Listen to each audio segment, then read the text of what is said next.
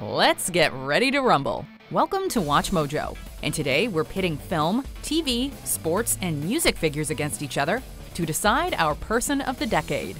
We'll be matching them in brackets of single elimination knockout rounds, going through film, then TV, sports, and finally music. We're basing the results on each person's achievements and influence from 2010 to 2019. The winners will face off until only one remains standing. And I'm not. So you say I'm not even in the top five? I didn't say that. What? She's saying that. This whole thing is stupid. She's saying that. Ready? Let's go. Film, round one Jennifer Lawrence versus Robert Downey Jr. There's 24 of us, Gail. Only one comes out. The 2010s marked Lawrence's breakthrough and continued Downey's comeback. Lawrence hit the ground running with Winter's Bone, Hunger Games, and Silver Linings Playbook, winning an Oscar for the latter. I did my research. As Tony Stark, Downey headlined the MCU, the biggest film series ever. I'm the best. While still beloved by many, Lawrence hit a rough patch towards the decade's end with Passengers, Red Sparrow, and Dark Phoenix. Downey finished on a high note with the record breaking Avengers Endgame, giving Iron Man the edge here. Oh, did I? Well, thank God I'm here. Winner Robert Downey Jr.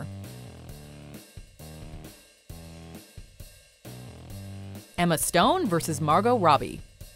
Gwen Stacy or Harley Quinn? You either follow my rules or follow my rules. Capiche? Thank you. Stone came into her own this decade, while Aussie native Robbie hit the mainstream internationally. Following her starring role in Easy A, Stone scored three Oscar nominations, with a win for La La Land. The Wolf of Wall Street was just the beginning for Robbie, who got an Oscar nomination for I, Tonya. I'm just trying to I'm trying to do the best with what I know how to Miss and you're giving me a, it's like you're giving me a life sentence if you do that. You can't do that. Miss Harding. A close call, but Robbie is to the 2010s what Marilyn Monroe was to the 1950s, making this bombshell the favorite. Winner Margot Robbie. Are you sure?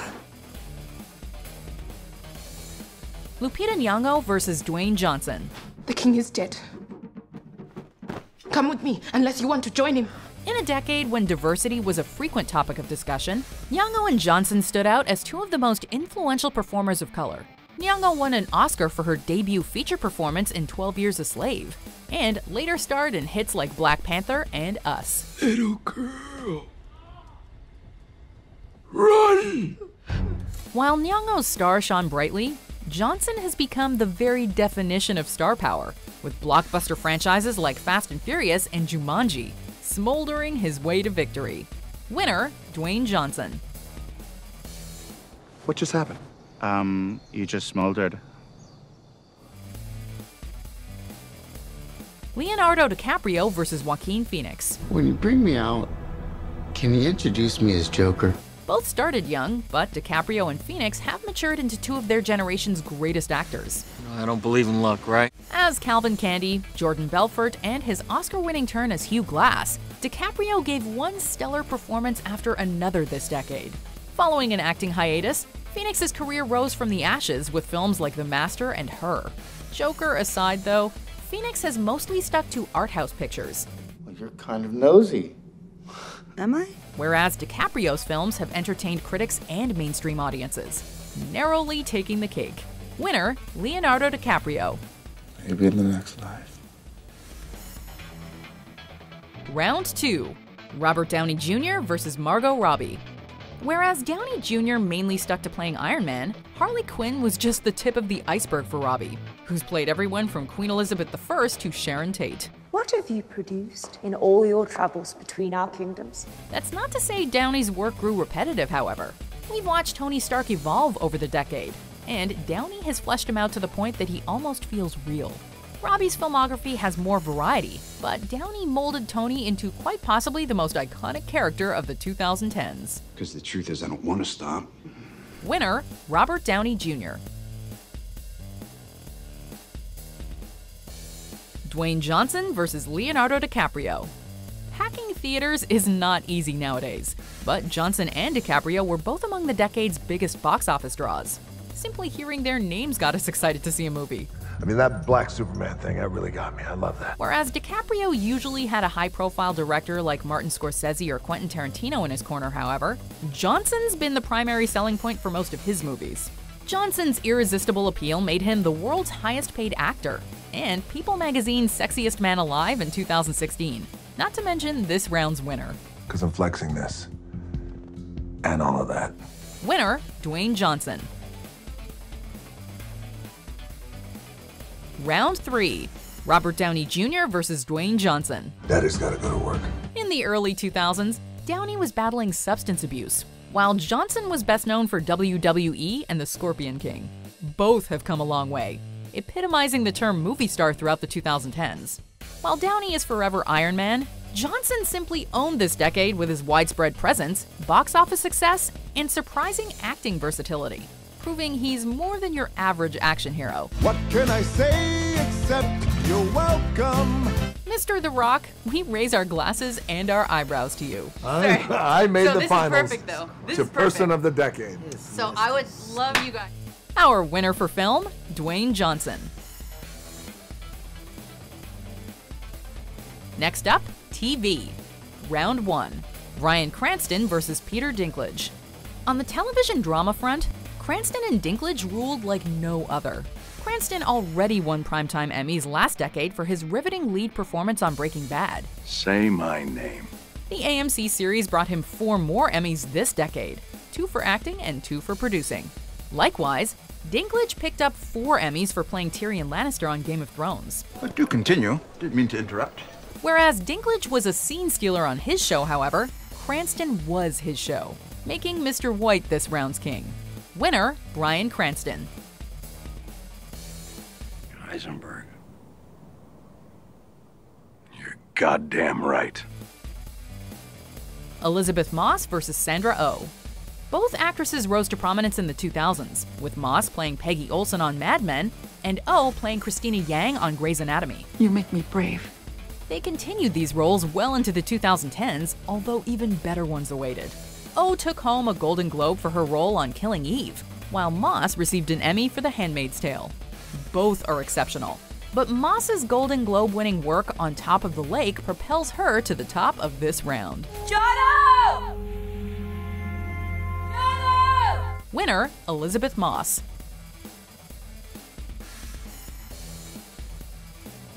Andy Samberg versus Kristen Bell.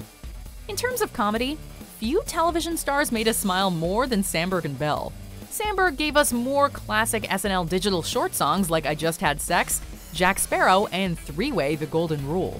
Bell landed leading roles on House of Lies and The Good Place, while also stretching her dramatic muscles in Veronica Mars Season 4. Samberg narrowly takes this round, though, for his consistently hilarious performance as Jake Peralta on Brooklyn Nine-Nine. Winner, Andy Samberg. Oh my god. Donald Glover versus Bill Hader. These two guys can do it all. Following his stint as Troy Barnes on Community, Glover went on to create and star in Atlanta, winning two Emmys for season one alone. After Stefon got hitched on SNL, Hader co created two ingenious comedies Documentary Now and Barry, the latter of which won him two acting Emmys. The queen is dead. As ambitious as both funny men are, the sheer unpredictability of Atlanta demonstrates why Glover is one of the most varied voices of his generation. It's all about who you know. I knew somebody. Winner, Donald Glover. Round 2 Bryan Cranston versus Elisabeth Moss. When we think of the term emotional powerhouse, Cranston as Walter White and Moss as June Osborne are two performances that immediately come to mind. Just like all the other times. Whereas Moss mainly stuck to drama this decade, Cranston was not afraid to get funny with roles on Curb Your Enthusiasm and Supermansion. You're trying to do a little sneaky watch peek. I'm not trying to do a sneaky watch peek. I'm trying to be efficient with our time. He even directed a couple of episodes of Modern Family in The Office. Moss can be quite funny too, but Cranston is the one who knocks when it comes to balancing comedy and drama. Winner, Bryan Cranston. I am the one who knocks. Andy Samberg versus Donald Glover. Both are hysterical, musically gifted, and have natural screen presence. whether they're hosting a live television event or starring in a single camera sitcom.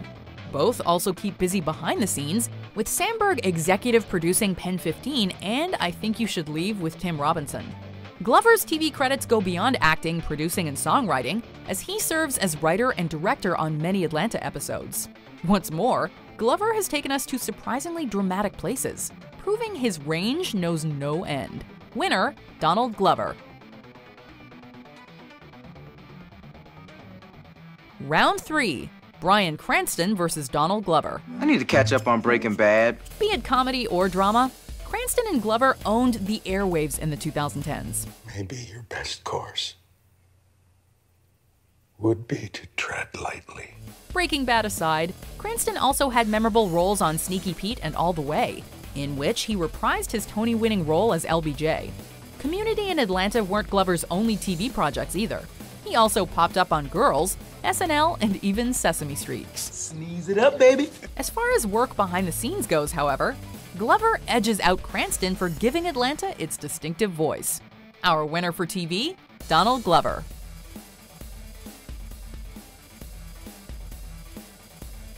On to sports.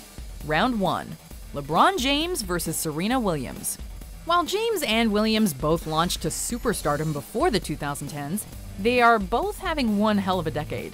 Serena returned from injuries to dominate women's tennis once again in the 2010s, winning 12 Grand Slams and capturing the most slams in the Open era overall.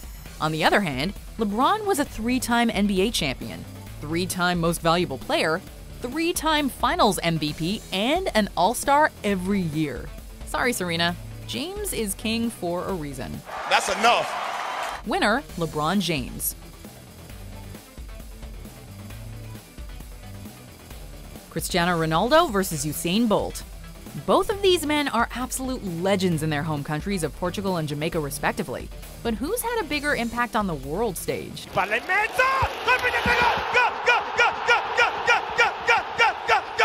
Ronaldo won the Ballon d'Or four times this decade as football's top player and led Portugal to a huge European Championship win in 2016. But Usain Bolt has won just about everything he's entered, winning an unprecedented six Olympic gold medals and eight world championships since 2010. This round goes to the Jamaican Flash. Winner, Usain Bolt. Usain Bolt of Jamaica is the fastest man on the planet. Lionel Messi versus Sidney Crosby. The pride of Argentina versus the pride of Canada. Who will move on? Sid the Kid brought back to back Stanley Cups to Pittsburgh, along with league MVPs both seasons, and led Canada to two Olympic golds in men's hockey. Crosby, it's over! Messi, meanwhile, is considered the best player of his generation, taking home the Ballon d'Or and the European Golden Shoe a record six times each. Sorry, Canada. Argentina for the win. Winner, Lionel Messi. Tom Brady versus Simone Biles. One's reaching the end of his historic career, while the other is just starting hers. Despite being just 22 years old, Simone is arguably the greatest gymnast ever, winning four golds in a single Olympics and dominating the World Championships since 2013. But she's no Tom Brady yet. Like, this dude is the undisputed GOAT. With three Super Bowl rings this decade and six total, two Super Bowl MVPs, and two regular season MVPs. Sorry, Simone, maybe next decade. Winner, Tom Brady. Round 2 LeBron James versus Usain Bolt.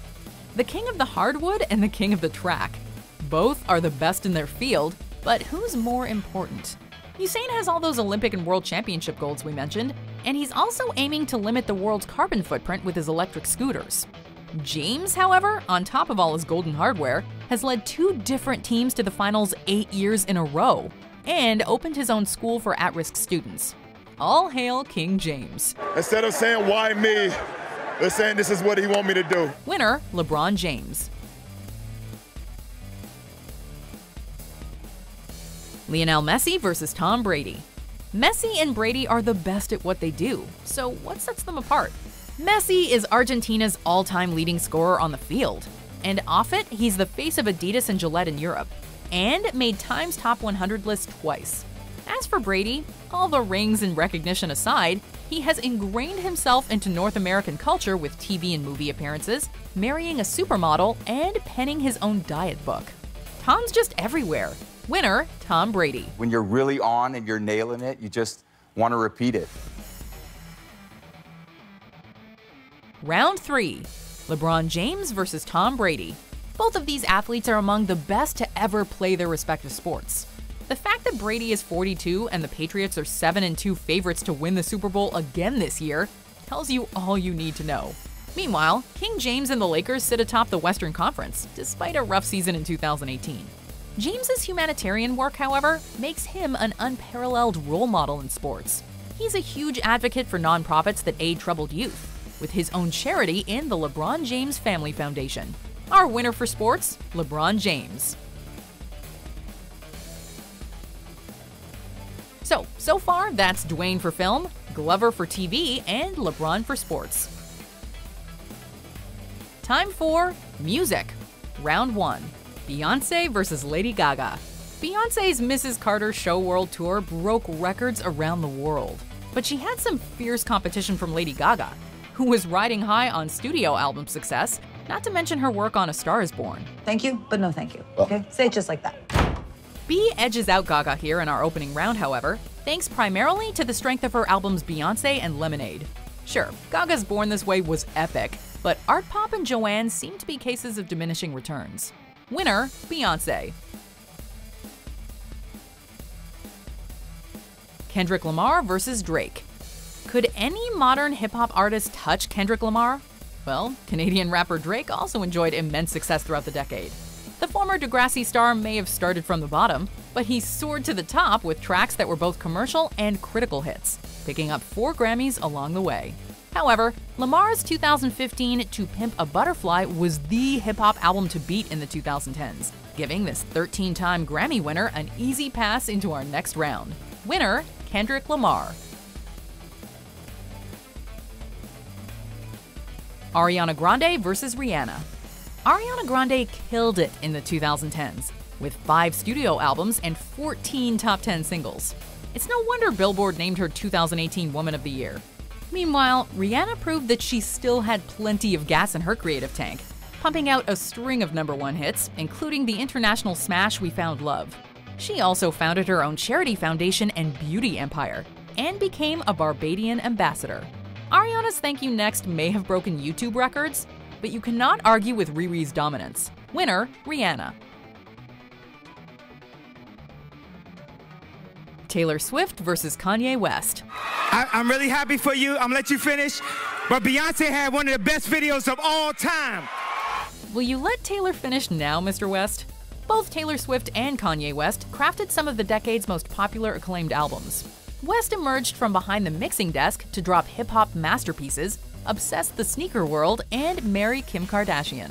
Meanwhile, Taylor Swift's Red in 1989 cemented her status as pop superstar and icon. The latter album earning her a Guinness World Record for being her third consecutive album to go platinum during its opening week. Sorry, Kanye. Winner, Taylor Swift.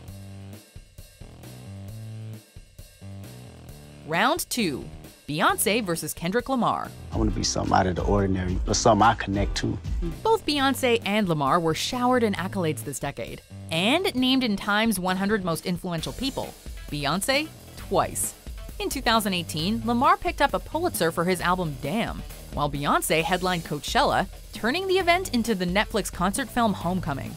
But Queen Bey also smashed records for tours, album sales, and Grammys, becoming one of the highest earning artists in history, all while campaigning tirelessly for charitable causes. Who runs the world? Beyonce. Winner, Beyonce. I've been waiting too, and I'm not a cub anymore. Rihanna versus Taylor Swift. Rihanna and Taylor Swift actually have a lot in common in terms of their music careers. Since their debuts, both have branched out into new genres and reinvented their public personas. It's time for day drinking with Southern Rihanna. In the 2010s, Rihanna released four studio albums, picked up eight Grammys, and topped charts around the world. Not to be outdone, T Swift released five albums, picked up 10 Grammys, and had her own string of chart toppers. Pervasive and indomitable, Taylor comes out on top. Winner, Taylor Swift. Round 3 Beyonce versus Taylor Swift. They're two of the most popular, top earning entertainers of all time. But who achieved more this decade? Swift's meteoric rise and transformation dominated pop culture, and her reputation tour set new records. Meanwhile, Beyonce continued to build her music empire, releasing three solo studio albums and collaborating with husband Jay Z. Her single Formation was a tour de force. However, in terms of album sales, earnings, and pop culture presence, Taylor took the decade, closing it out with a bang when all 18 tracks of her 2019 album Lover charted simultaneously on the Billboard Hot 100. I love you guys so, so, so, so much. Our winner for music, Taylor Swift. The final rounds. That leaves us with four finalists Dwayne Johnson for film, Donald Glover for TV, LeBron James for sports, and Taylor Swift for music. They're all winners, but only one can be our person of the decade Dwayne Johnson versus Donald Glover. These guys left their marks on every facet of pop culture this decade. Johnson was frequently cited as Hollywood's highest paid actor, starred in the HBO series Ballers, and even tested his singing chops as Maui. Yes, it's really me, it's Maui. Breathe it in. Glover headlined blockbusters like The Lion King, co created and starred in Atlanta, and swept the Grammys as Childish Gambino. Johnson undeniably has Glover beat on the sports front, however. While no longer a WWE regular, Johnson's occasional appearances solidified him as this round's champ. Winner, Dwayne Johnson. LeBron James versus Taylor Swift. Comparing Taylor Swift to LeBron James may seem like apples and oranges, but as in The Highlander, there can be only one. Both are at the apex of their field, with King James standing atop the summit of contenders for the title of Best Basketball Player of all time. Yet Swift consistently tops Forbes lists of highest paid entertainers, and wields power so vast that she even made Apple back down for the royalty policies for their streaming service. Winner, Taylor Swift.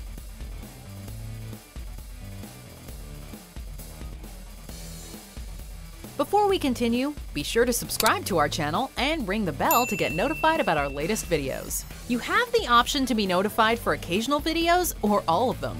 If you're on your phone, make sure you go into your settings and switch on notifications. And now for our final round Dwayne Johnson versus Taylor Swift. This is a tough one.